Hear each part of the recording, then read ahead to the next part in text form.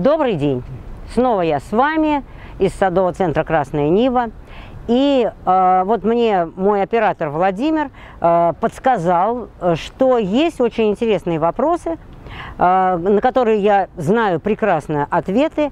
Э, это по поводу строительства и обустройства теплиц для тропических растений. Вообще надо сказать, что я так понимаю, что наша аудитория все-таки это в основном любители не уличных растений, а комнатных. Потому что вот сейчас лето, но нам что-то по уличным растениям никто никаких вопросов особо-то и не задает.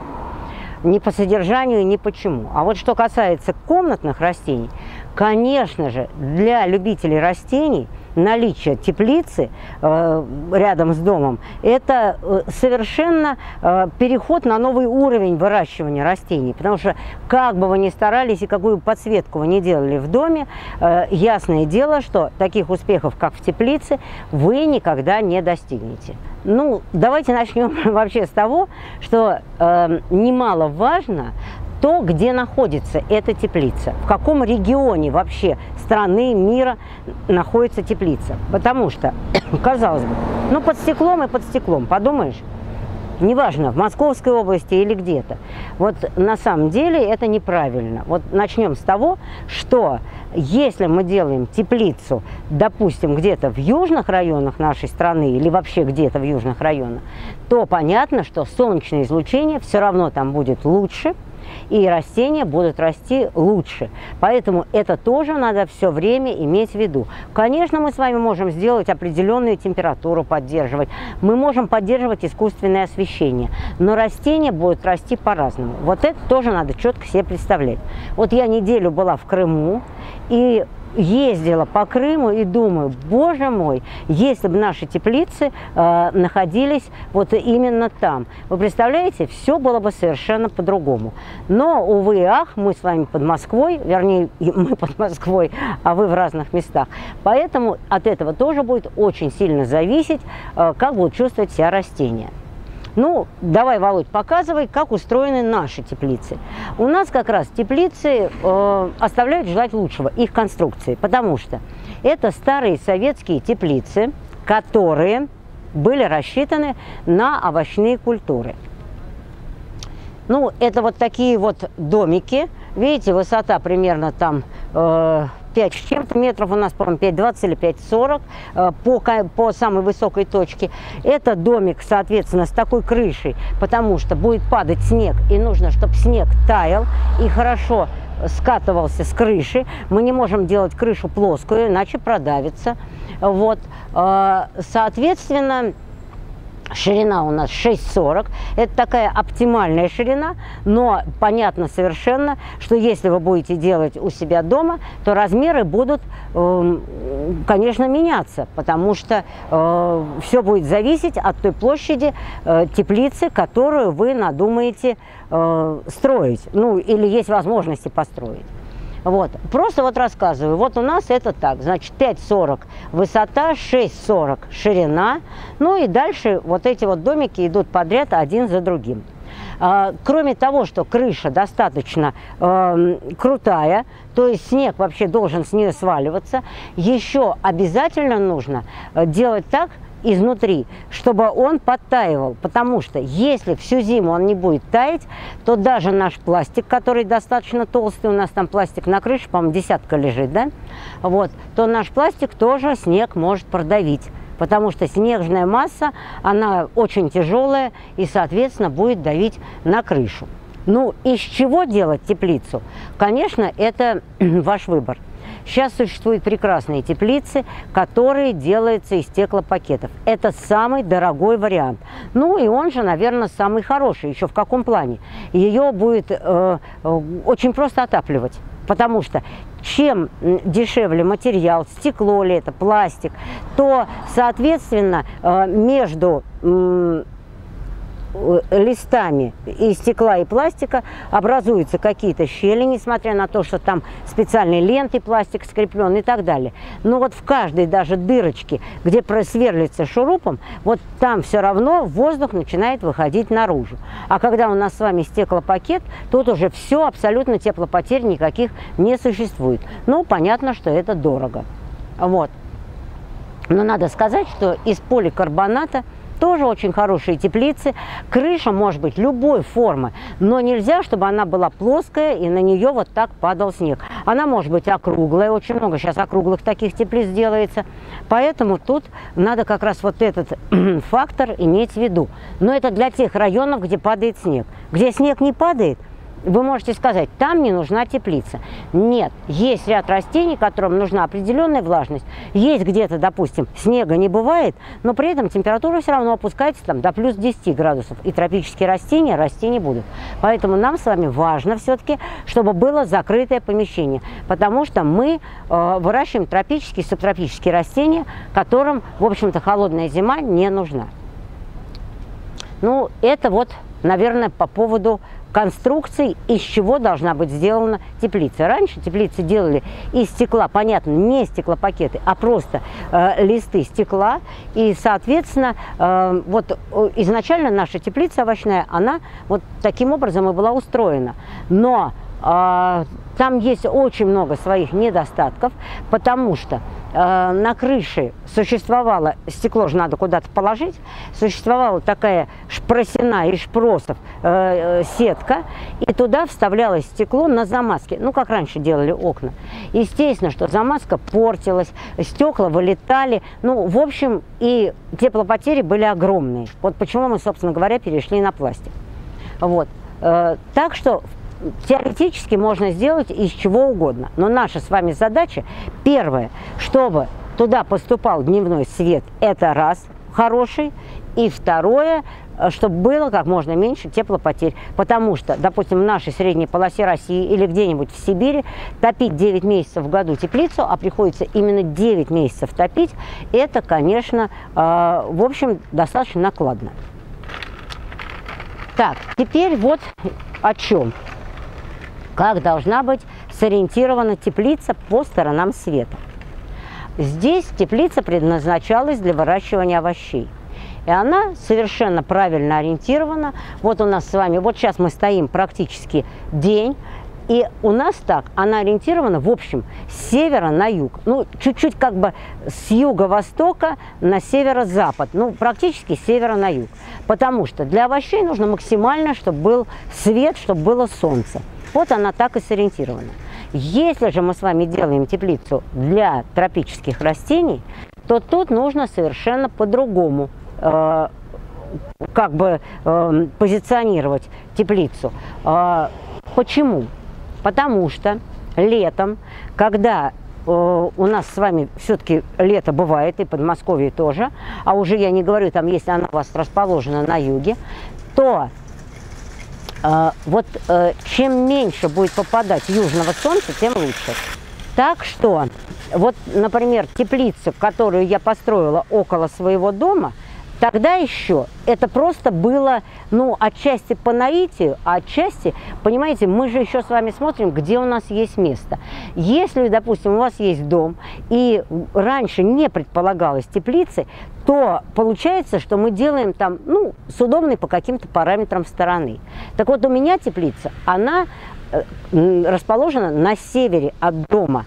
То есть тень в течение дня от дома практически накрывает теплицу. Таким образом, вот это солнце, которое у нас э, с восточной стороны, утреннее раннее, и Э, с запада, э, когда э, обходит дом солнце, западное солнце, оно не такое жгучее, как южное. Плетенку все равно приходится делать, но во всяком случае, вот в течение дня там есть естественная тень, что растение, конечно, очень спасает от выгорания. Вот. Поэтому, если есть возможность от дома сделать теплицу на северной стороне, вот это самый лучший вариант. Вот. Ну, вот что касается расположения теплицы, понятно, да? Что касается материалов, из которых можно сделать теплицу, тоже понятно. А, теперь давайте о чем поговорим. Ну, как она вообще сделана изнутри, да? Заходим вовнутрь и смотрим. Значит, хочу сразу вам сказать, что э, за один сюжет рассказать о том, как обустроить теплицу, в общем-то, достаточно сложно. Поэтому давайте разделим мой рассказ, ну, наверное, Володь, части на три, да? Первое, значит, это конструкции, дальше свет, естественно, искусственный, э, ну и дальше, наверное, отопление и вода. Вот так. Ну, вот, вот мы с вами вошли в теплицу, мы поговорили о том, из чего можно сделать теплицу. Самый, конечно, дешевый вариант – это понятно, что теплица из поликарбоната. Значит, э, вы делаете некую конструкцию, на которую потом можно прилепить вот эти листы поликарбоната. Э, ну, наверное, э, для того, чтобы теплица не ходила ходуном у вас, все-таки лучше сделать фундамент. Фундамент должен быть обычный, ленточный. Вот ты можешь показать, здесь, конечно, у нас общий большой фундамент, но если, допустим, это теплица, которая маленькая около дома, вот э, фундамент э, ленточный, залитый, скажем, бетоном, э, внизу там, ну я не знаю на какое расстояние, как обычно делают, под Москвой, наверное, сантиметров 80 больше не надо, на юге и того меньше. Вот. И дальше можно сделать такую стенку из кирпича, э, чуть-чуть приподнять. Э, значит, нам с вами при обустройстве теплицы важно, чтобы свет был, а, сверху, конечно, с боков тоже, но снизу, с самого, можно, для того, чтобы она была устойчивее, можно вот эту кирпичную стенку, здесь-то мы стоим внутри теплицы, ее выложить, конечно, повыше. На метр спокойно можете выкладывать, это никак не скажется на освещении в теплице. Поэтому, если у вас метр будет закрыть каким-то другим материалом, там шлакоблоками какими-нибудь, пеноблоками или кирпичом, это будет только хорошо и теплица будет устойчива. Дальше делается каркас теплицы, ну, как правило, он металлический, но, в принципе, можно сделать и деревянный. Это уже как кому удобно. Вот. И, соответственно, э, дальше каркас крыши. После этого все это облицовывается, на шурупы прикрепляются э, листы поликарбоната. Чем меньше у вас будет стыков, тем будет меньше теплопотерь. Это совершенно понятно, да? Вот. А, поэтому, ну, у нас-то уже, к сожалению, здесь э, задан был соответственный каркас под стекло. Поэтому вот если мы сейчас посмотрим на крышу, Володь, вот покажи крышу. У нас здесь много достаточно соединений. И покажи, как соединяются листы поликарбоната. Вот, видите, специально существует такая лента, в которую вставляется с одной стороны и с другой. Но лист поликарбоната вообще выпускается с завода 12 метров при ширине 2,10. Поэтому можно как раз теплицу сделать по размерам вот под этот лист. Допустим, длиной 6 метров или до 12, в общем. Тогда у вас стыков будет вообще их не будет, и только надо будет проложить какие-то э, шпросы, на которые этот лист ляжет, потому что если вы ничего под него не подложите, 12 метров, понятно, что он прогнется под первым же снегопадом. Вот это надо иметь в виду, даже под дождем. Так что вот, вот так устроена вот эта крыша. Вот. Если же вы делаете из стеклопакетов, то те люди, которые занимаются стеклопакетами, они уже сами конструкцию эту вам предлагают. И как там будет укреплена крыша, тоже сделают. Значит, это что касается стен и соответственно, крыши. Итак, у нас крыша прозрачная, стенки прозрачные, но достаточно высокий фундамент, или вот там внизу эта стенка, уже, уже не фундамент. Вот, вот э, что должно стоять над землей. Теперь дальше. Значит, Теплицу можно сделать прямо на земле, потому что мы можем часть растений, если мы хотим сделать такой зимний сад, или вообще вы там и какие-то собираете крупные растения, их можно прямо посадить в землю. Это тоже будет очень хорошо. Вот.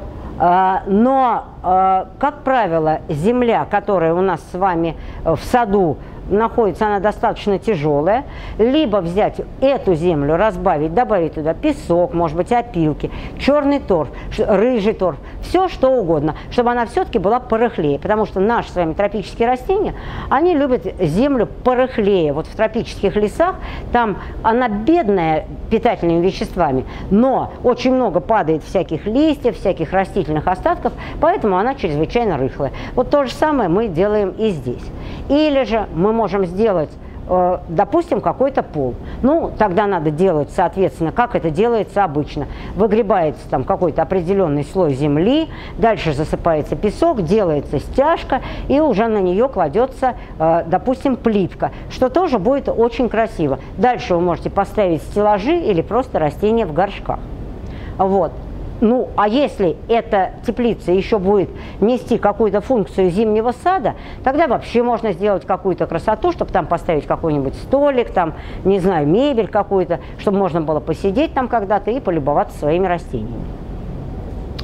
Теперь можно сделать комплекс, это э, как бы смешанный пол, можно оставлять, как мы делаем на улице, да? Часть у нас, э, скажем, участка вымощена, а часть участка оставлена э, в виде просто поверхности земли, в которой можно что-то посадить. То же самое можно сделать и, соответственно, в вашем зимнем саду. Володь, переверни камеру и покажи, вот как у нас там, например, сделано. Вот, Здесь у нас дорожка, по которой можно ходить. Также можно сделать и в вашей маленькой тепличке. Вот буквально, вот смотрите, вот до этого заборчика, до калитки, вот такая небольшая теплица. То же самое можно сделать вот, вот так, чтобы можно было и ходить, и, соответственно, растения росли э, просто в грунте. Можно сделать так. Если теплица будет чуть побольше, можно даже сделать разные какие-то зоны. Если вы любите растения разные, вот у меня дома, например, в теплице, у меня теплица длиной 12, а, 12 метров у меня, да, 4 этих самых, 12 метров длиной. Вот у нас вот этот пролет каждый, он по 3 метра. Вот у меня 12 метров длиной, 6,40 шириной, и там чего только нет. И есть участки вот такие с э, сухими растениями, и фикусы растут. Ну, как-нибудь мы съездим, и там, наверное, снимем, и тогда уже покажем. Вот, поэтому, да, и еще, конечно, если вы любитель растений, коллекционер растений, тогда обязательно нужно оставить место, чтобы поставить где-то стеллажи. Потому что э, вы понимаете, что не каждое растение можно поставить в грунт, и какие-то маленькие горшки тоже это будет некрасиво. Поэтому если мы собираем коллекцию, то еще должны быть какие-то столы, стеллажи и так далее. Это я к чему говорю, мы об этом еще будем дальше говорить. Это я говорю про конструкцию, каким должен быть пол. Поэтому, может быть, большая часть это должен быть жесткий какой-то пол, ну, а уже как вы его сделаете, это ваша фантазия. Плитку можно положить, вот здесь плитка лежит, просто на земле, без всякой стяжки. Вот она, выгребли такую канавку, э, засыпали песком и плитку положили. И дальше она вот достаточно плотно туда уходит, вот она не шатается, ничего, лежит себе э, прекрасно уже уже э, туда ее затянуло в землю. А вот здесь у нас, например, вот здесь, вот здесь плитка лежит на стяжке, на бетонной. Ну, собственно, разницы большой нету. Поэтому... А, ну вот у нас еще есть вот такой чудесный пол. Давай покажем его. Значит, дело все в том, что у меня есть знакомый, который занимается камнерезкой. И вот эти вот мраморные отходы, это он нам просто подарил, потому что это для него мусор. Надо было вывести, мы забрали все, за что ему большое спасибо.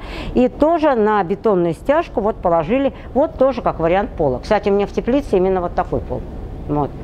Это тоже как-то красиво, живописно. Ну, в общем, тут уже все зависит от вашей фантазии. Но я просто к тому говорю, что если что-то вы хотите посадить высокое, то, соответственно, ой, большое, то оставлять просто можно куски грунта, тем более, что потом на эти растения вы можете прицепить орхидеи и какие-то папоротники. В общем, тут уже дальше, это уже рассказ дальше. Вот. Итак, конструктивно мы с вами поговорили о том, что должен быть фундамент, каркас, а, естественно, все должно быть как можно больше прозрачного.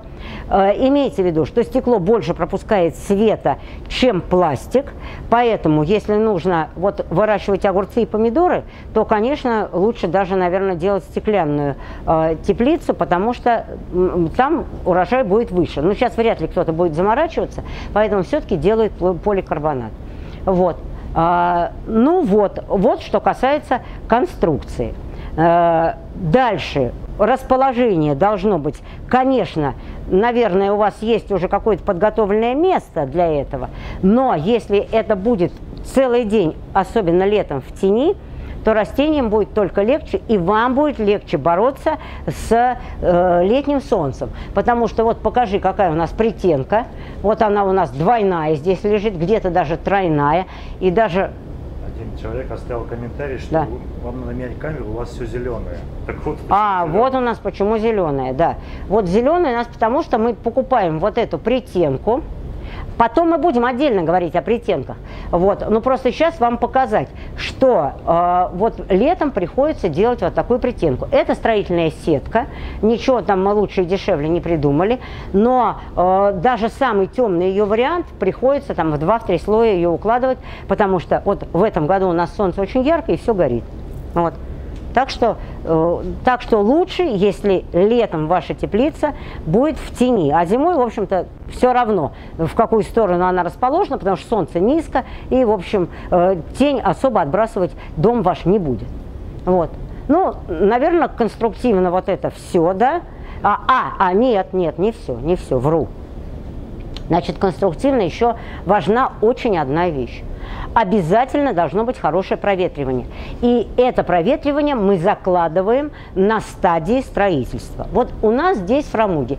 То есть вот этот вот верхний, э, я как бы ряд, раньше это был стекол, а теперь это отдельно отрезанные куски э, поликарбоната, вот у нас вот так открываются. У нас автоматическое открывание, на кнопку нажимаем, электропривод открывает, поднимает вот эти фрамуги. А, вот. Ну, можно вручную их поднимать, это уже уже как кому понадобится. Значит, вот верхний, и для теплицы еще хорошо было бы парочку боковых каких-то открываний. Вот у меня, например, дома выход э, э, в теплицу из дома, но при этом у меня есть одна дверь на улицу и вот так вот по диагонали теплицы вторая дверь на улицу. Когда особенно жарко, вот этих двух фрамуг, которые наверху, не хватает. Тогда я открываю эти обе двери, и тоже начинается вот это продувание. Потому что иначе очень жарко. Вот это тоже надо обязательно иметь в виду. И если у вас не будет, допустим, уличной двери, или будет одна уличная дверь, еще неплохо где-то сбоку сделать какое-то э, окошко в раме, чтобы его можно было открывать но верхний обязательно должен быть э, обдув, потому что вы знаете, что горячий воздух поднимается наверх, уходит, вот это движение вертикальное, оно важно. Вот. Ну вот теперь, наверное, конструктивно все. Мы будем еще обо всем говорить э, несколько раз, когда буду рассказывать про э, отопление, про э, свет, но вот это вот, вот это важно.